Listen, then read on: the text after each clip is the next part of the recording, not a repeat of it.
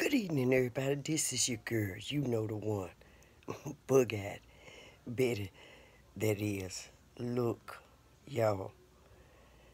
I wish y'all would take advice from my uncle. Because now I'm going to tell you what happened. Mm, mm. Uncle Buster went in the grocery store. And um, there was a young lady working in the grocery store. She was mopping.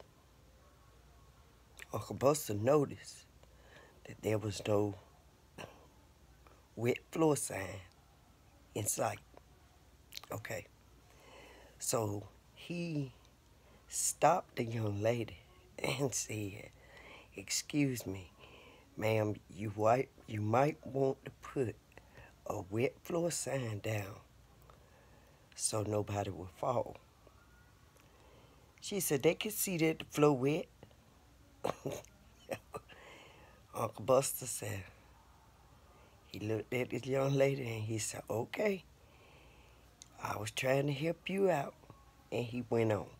Now he saw that the floor was wet, so he did not go down that aisle, okay? He went on the other aisle. Uncle Buster said, not even five minutes. Somebody fell down and they holler. Oh, I don't see no sign. I don't see no sign. Mama, you all right? Mama, you all right? She saw that floor wet. She probably heard Uncle Buster tell the young lady. But she went down there anyway.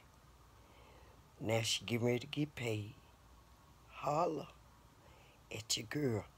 Y'all, if it's a wet, if it's no wet floor sign, please don't go down there. Don't go down there to get paid. Go to work. Please. I'm just saying. I don't know. It looks suspicious to me. I hope they don't call Uncle Buster for no witness. Because you might not get paid. I don't know. You might still get paid, though. Matter of fact, you're to get paid. Then you're going to run out of money. Me. You know, why don't you?